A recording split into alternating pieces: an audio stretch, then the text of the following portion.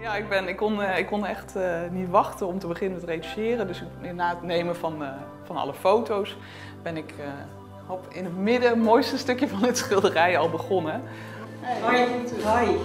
Hoe staat het, hoe staat het ermee, Johanneke? Vorige week een eerste vernislaag aangebracht. Ja. En vooral dit soort zwarte partijen. Hè? Als je daar geen vernis op eh, aanbrengt, of als daar geen vernis op zit, dan zijn ze allemaal eh, veel grijzer. Er zitten nog steeds kleine gaatjes, maar hier heb ik een eerste basis gezet. Hier zit een groot gat.